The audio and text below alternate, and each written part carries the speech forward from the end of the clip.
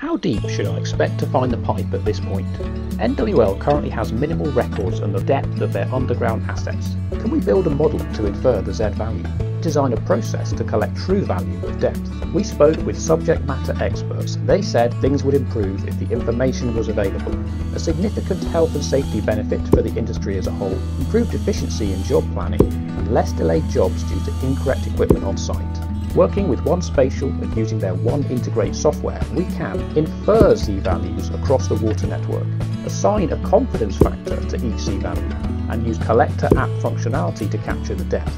This project is now in production. We expect to deliver the following. GIS will hold the actual depth and inferred depth. A modelling tool will generate a depth model of the networks, and a way to ask the question, how deep is it here?